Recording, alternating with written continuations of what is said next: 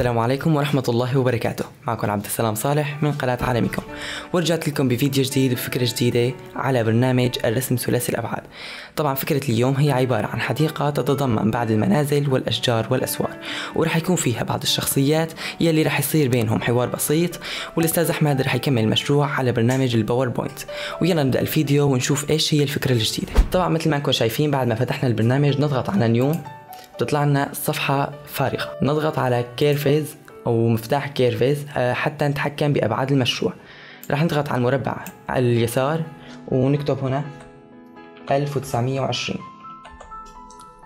نضغط على المربع على اليمين ونكتب 1008 مثل ما انكم شايفين آه عنا المشروع آه أخذ الشاشة كلها نضغط على هذا المفتاح ومنصغر حسب احتياجنا تقريبا هيك حاج. نضغط على مكتبة ال 3D وبنبحث أول شيء على جراوز آه مثل ما نكون شايفين رح يطلع لنا آه عدة أشكال من الأرضيات. رح نختار مثلا هذا الشكل. مثل ما نكون شايفين طلعت سخانة الأرض آه قليلة كتير. رح نضغط على هذا المفتاح لحتى نكبر شوي في سخانة الأرض. آه نضغط على هذا المفتاح لحتى ندور الأرض تقريبا 90 درجة. نحطها في الزاوية. نرجع نضغط على هذا المفتاح. ومنكبرها شوي بكفي هيك وبعدين بناخدها من هون لآخرة المشروع. وفي نفس الطريقة رح نكبس على مكتبة 3D ونكتب هاوس. أه مثلا رح نختار هذا الشكل. أه رح نسحبه على هاي المنطقة. منديره 90 درجة. نحطه هون ومنصغر حسب احتياجنا. بنضغط على هذا المفتاح ومنرجع تقريبا لحتى يصير ملاصق للأرضية. بنرجع على مكتبة ثلاثي الأبعاد لحتى نختار مثلا هذا البيت. وبنفس الطريقة رح نضيف كل الأشكال وتابعوني حتى النهاية.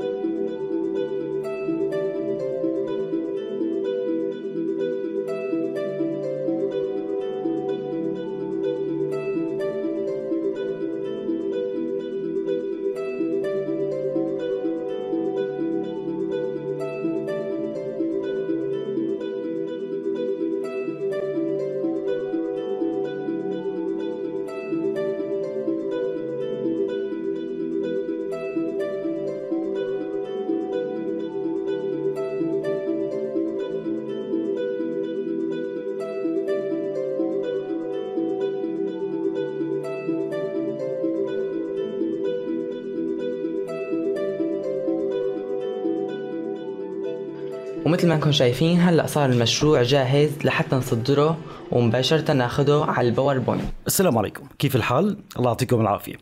معد معكم عبد السلام قام بتنفيذ الرسمة أو المشهد كامل. طبعا هو مشهد طبيعي مع سيارات أشخاص واقفين في عنا عشب في عنا أرضية في عنا منازل. مشهد جميل. تمام؟ آه وصدرنا الملفات آه بشكل 3 دي موديل. ورح نبدأ بالتعامل معها لصناعة المشاهد في برنامج PowerPoint خليكم معي لحتى نبدأ بالتعامل بصناعة هذه المشاهد. وكلنا رح نستخدم الانتقالات أو الانتقال نقل الكاميرات هي أو هو عفوا تأثير morph. بعد ما قمت تشغيل البرنامج رح انقر باليمين بتوجه إلى ال layout وبنختار blank أي شريحة فارغة. بتوجه إلى insert وعندي picture أو عايز ليس picture عفوا هو 3D models وبنختار this device طبعا المكان اللي سجلنا فيه أو نزلنا فيه المشاريع هذا هو المكان. بجي بحدد المشروع وبنقر على insert لحتى يبدأ برنامج ال PowerPoint تحميل هذا الملف أو هذا المشروع إلى داخل برنامج PowerPoint وكيف رح نعرضه الآن بالشريحة الرئيسية. الآن مثل ما شايفين بعد ما تم تحميل البرنامج بإمكانك أنك تصغر أبعاد شريحة العمل لحتى تكون يعني متحكم بطريقة أفضل. أضغط control مع ال shift وبجي إلى الزاوية وبنقر مع السحب لحتى نحن نكبر المشهد ملء الشاشة تماما. تمام؟ وبسحب للأسفل. طبعا المنطقة الخلفية والبيضاء هي بتكون يعني لون السماء. خلني أعمل تدرج لوني بالخلفية يعطي هذا الإيحاء بسيط فبنختار gradient fill آه تمام. آه خلني أعكس الألوان شوي أحذف هذه النقطة اللونية وأحذف الثانية. آه خلني أعكسهم لأني من الأعلى بدي يكون عندي اللون الغامق أو اللون السماوي يعني. تمام. وممكن تأخذ مثلا هذا اللون. وضع جميل. الآن لو شغلنا شريحتنا خلينا نشوف فقط معاينة كيف رح يكون معنا المشروع ابتداء مثل ما أنا شايفين الرسمة غايه بالجماليه وغايه بالروعه في بعض النقاط الغير واقعية هي الموضوع الحواف اليمينيه واليسارية. مثل ما أنا شايف فيها قطع. فلهيك برجع بنكر على الصورة وباخذ كنترول مع الشيفت وأيضا بنرجع بنكبر بالزاوية بحيث أن أنا أخفي هذه العيوب. تمام؟ يعني نكبر شوي. بحيث إنه ما يكون في عندي هذا القطع الموجود بالصورة. تمام خلني آه، أتأكد فقط أن الطريق واضح. طيب الآن ولو شغلت نشوف ملء الشاشة لنشوف العرض كيف راح يكون. يعني أنا محتاج الطريق يظهر معنا وكل شيء يظهر معنا مثل ما أنا شايفين. الآن راح أرجع إلى insert ونختار 3D model this device وبناخذ مشهد السيارة ونعطي إيحاء الحركة للسياره على الطريق نفسه. تمام بسحب السيارة لهون. راح نصغر طبعا السيارة بحيث يكون هي مناسبة لأحجام الناس الموجودين والكادر بالعموم يعني ما نحتاج تكون عندها كبيره شوي. أضغط shift وبسحبها إلى خارج الشريحة بالضبط. بتوجه إلى ال animation اللي هي الانتقالات وبجي بختار line يعني حركها بشكل أفقي أو شكل مستقيم وبختار الجهة تكون عندي إياها to right يعني من اليسار إلى اليمين. الآن نقطة النهاية بنقر على مفتاح ال shift طبعا وبنقر عليها وب يعني بزيدها لحتى يعني تنتهي معنا آه وأضمن خروج هذه السيارة من المشهد بالكامل. خلينا نفعل جزء الحركة واختار يكون عندي الحركة مع السابق آه وأفوت إلى خيارات التأثير. بدء وانهاء متجانس بنعملهم صفر وبنختار هون تكرار حتى نهاية الشريحه يعني تضل الحركة مستمرة للسيارة وخلينا نبطئ من سرعتها شوي لنشوف الوضع الآن. خلينا نشغل ونشوف كيف صارت معنا الحركة على مشهد ثلاثي الأبعاد. وطبعا السيارة لازم تتحرك معنا على الطريق بشكل نظامي. تمام لكن آه طايرة السيارة على 220 خلينا نزيد موضوع السرعة. آه أو نبطئها عفوا شوي. خلينا نختار 20 أعتقد مناسب. هذا الموضوع السرعة محكوم إلى المدة الزمنية والحجم. يعني حجم السيارة والمدة الزمنية للتحريك. نعمل معاينة ونشوف. تمام؟ الوضع أصبح منطقي نوعا ما. يعني وبهيك أنماط من الرسوميات يعني يكون فيها شيء من البطء أو الجمالية. لا بس في الموضوع. طبعا عبودي جايب لنا سيارات ما فيهم أشخاص لكن في سيارات عليهم أشخاص ويمكن تركيب عليهم أشخاص وتجعلها أيضا متحركة بهذا المشهد. طبعا آه، بإمكانك تعمل سيارة ثانية يعني سيارة ثانية وتختار السيارة تكون هذه السيارة وحده على اليمين وحدة على اليسار. أنا مش رح أطول معكم باللقاء لكن بنفس الطريقة ممكن إنك تشتغل. يعني أنا كنت مجهز أو عبده هو كان مجهز عبد السلام العزيز كان مجهز السياره رقم اثنين بيك اب جميل زراعي حلو كتير لأن المنطقة ريفية. فهو يعني آه، جاب يعني هذا المشهد أو لهذه السيارة. بإمكاننا نحن يعني أن نتركها ثابتة. على الشاشة ندورها كمان شوي. تمام؟ ثابتة يعني على الشاشة إنك تضيف هذا العنصر موجود على الشاشة وليكن بهذا الشكل. تمام وتحب ما تضيفها أنت حر يعني بالموضوع لكن الآن هي عناصر كاملة. الفكرة الآن خلينا نصغر شوي. الفكرة الآن بدي أعمل duplicate تكرار للشريحة. duplicate تكرار للشريحة. رح نحذف من الشريحة رقم اثنين السيارة. لأن أنا رح أغير موضوع المشاهد وماني محتاج سيارة. هذه كنا موجودة لا هي ولا الحركة الخاصة فيها. تمام. الآن بهذا المشهد آه أنا محتاج أسلط الضوء على الحوار اللي عمالي بجول بين الشخصين هدول فلهيك أنا لازم أكبر فراغ العمل. تمام؟ وأعطي بمعنى zoom للكاميرا. فبضغط control مع ال shift وبنقر على التكبير وبنكبر المشهد. تمام؟ حتى نحن نقرب ونسلط الضوء إيش؟ على هدول الشخصيتين. تمام؟ نسحب للأعلى شوي كمان وليكن معنا بهذا الشكل. طبعا مثل ما شايفين أيضا المعاينة موجودة معنا خلينا كمان نكبر شوي. تمام؟ مثل ما شايفين المعاينة خلينا نشغل ونشوف كيف راح يصير معنا أحجام ال ال الكائنات اللي راح أنا محتاج أو الشخصيات. وليكن يعني هذا الوضع جدا مناسب لحتى يجول الحوار بين الاثنين. تمام؟ هون بإمكانك إن أنت تسجل مقطع صوت. تسجل مقطع صوت.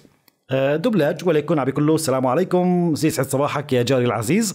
تمام؟ فأنت بتتوجه إلى قائمة ال insert. هي إدراج. وبنختار audio آه يعني من الكمبيوتر. بتختار صوت MP3 هون منك محتاج يكون عندك wave اطلاقا. أي مقطع صوت MP3 بتسجله بهذه الشريحة فقط بهذا المشهد لما الشخص الأول يكلم الثاني أنت بتضيف معاه الصوت. كلام جميل. الآن بنقر باليمين. أو قبل ما انقر باليمين خليني أختار أول شيء انتقال ال morph اطبقه على الشريحة. تمام؟ وخلينا نشوف معاينة كيف راح يكون معنا أو الحركة بين الشريحتين. طبعا بشكل افتراضي بإمكانك انت تضيف عنوان بالاعلى عنوان بالأعلى موجود تمام؟ آه، حوار جميل بين آه، جارين تمام؟ يدور النقاش حول آه، توفر المحروقات للسيارات لأن في عندنا سيارات في المشهد ثلاث سيارات ربما يكون الحديث بهذا الشكل. تضغط على السبيس آه راح تقرب الآن الزوم على أو الكاميرا على الشخص الأول ويبدأ الحوار.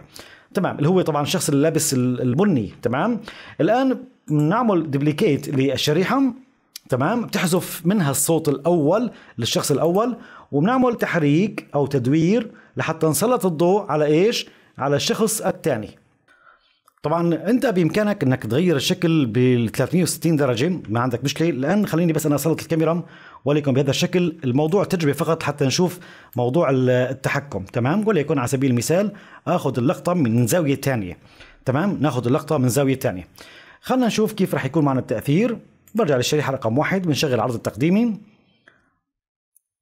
تمام؟ السيارة عمالي بتمرق في عندك عنوان موجود بأعلى الشريحة إيش راح يدور الحوار وبتضغط على ال space راح يبدأ الحوار بالشخص الأول مع الشخص الثاني وبضغط على space لحتى تنعكس معي الكاميرا والمشهد كامل بهيدي الجمالية.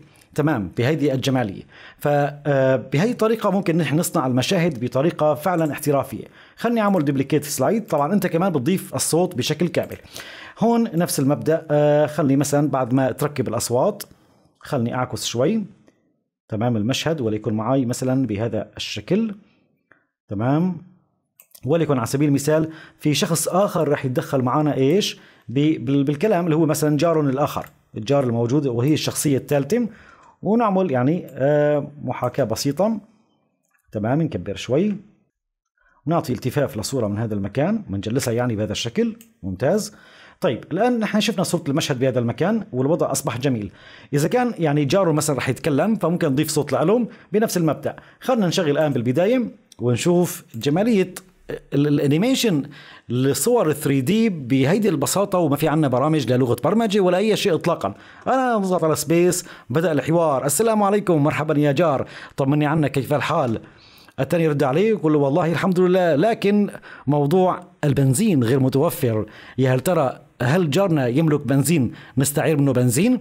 أذكر مثال فجاره بيسمعهم أو بيتهيأ له انه هن رح يطلبوا منه بنزين فبيتدخل مباشرة. لو تكرمتم أنا لا أملك البنزين.